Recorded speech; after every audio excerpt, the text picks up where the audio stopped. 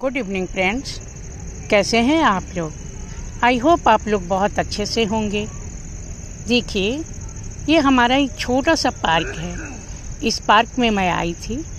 तो सोची कि देखिए, उस वक्त आपको मैंने कॉस्मोस का प्लांट दिखाया था, जो बहुत ही छोटा छोटा था। लेकिन आज ये कॉस्मोस का प्लांट बड़े हो चुके हैं और देखिए, इसमें खूबसूरत सा फ्लावर भी आ चुका है। ये देखिए, मैंने सोचा कि चलिए आपके साथ थोड़ा सा शेयर कर लेती हूँ कि ये देखिए कितना खूबसूरत सा प्लांट और खूबसूरत सा फ्लावर हो गया है। देखिए, ये बहुत ही सुंदर सा कॉस्मोस है। ये कॉस्मोस प्लांट है।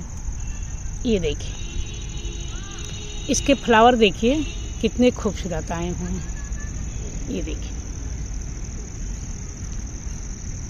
ये पूरा फूल पार्क जो है, वो कॉस्मोस से भरा हुआ है। ये चलिए, आप भी हमारे साथ ही घूम लीजिए।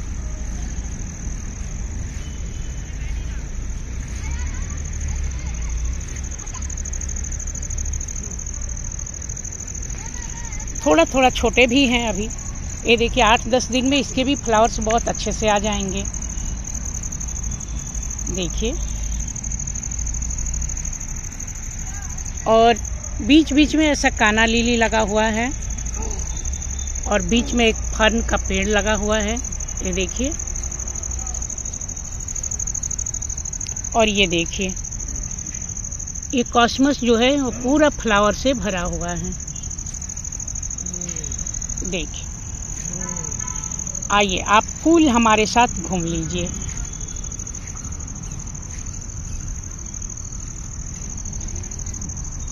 पार्क में हमारे साथ आप भी इंजॉय कीजिए। देखिए। देख रहे हैं इसके फ्लावर देखिए, कितना खूबसूरत आया हुआ है। और कलियाँ कितनी लगी हुई है, ये देखिए।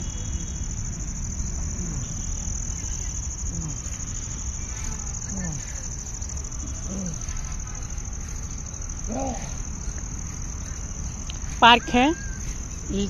साउंड का इग्नोर कीजिएगा। बाहर का साउंड है। पार्क है। लोग यहाँ एक्सरसाइज कर रहे हैं। बच्चे खेल रहे हैं।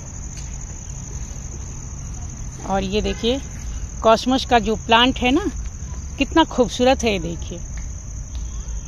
और सारा यहाँ पूरा फूल कॉस्मस ही लगा हुआ है। जहाँ तक आपकी नज़र जाएगी कॉस्मस लगा हुआ है। दो कलर में लगा हुआ है।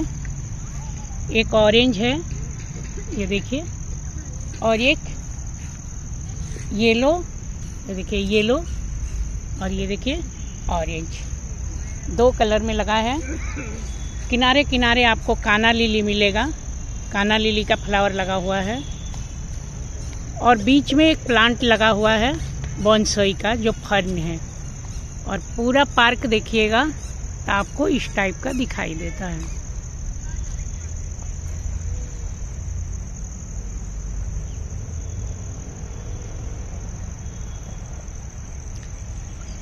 किनारे से आपको बड़े बड़े पेड़ लगे हुए हैं। बीच में आधा देखिएगा तो बोन सही लगा हुआ है। ये देखिए।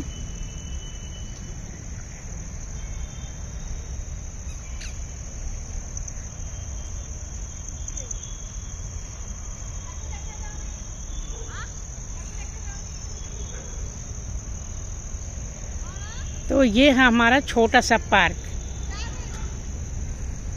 ये हमारे पार्क का टूर है।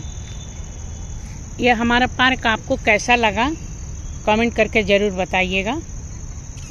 और ये देखिए, लग रहा है ना ब्यूटीफुल बहुत खूबसूरत। और ये कॉस्मोस तो चारों तरफ़ इतना सुंदर सुंदर फ्लावर खिले हुए हैं कि बहुत ही प्यारा सा है। आप देखिए। Thank you for watching